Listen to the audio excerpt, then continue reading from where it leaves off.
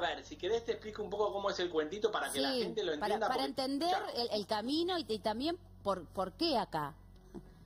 Exacto. Bueno, a ver, como primer medida, la vacuna lo que replica es lo que hacemos nosotros con nuestra defensa. Cuando entra un Ujú. virus a nuestro cuerpo, nosotros qué es lo que hacemos? Nuestras células de defensa lo atacan para matarlo y genera células de memoria para que cuando vuelva a entrar no lo dejemos entrar. Bien. La vacuna reproduce eso, nos da una partecita del virus y hacemos lo, lo mismo, generamos las defensas para que después no lo dejemos entrar a ese virus. Que la vacuna de Oxford, ¿qué es lo que trabaja? Trabaja con un virus que se le puso una llave, se lo modificó genéticamente y se le puso una llave a ese virus que no va a entrar el cuerpo.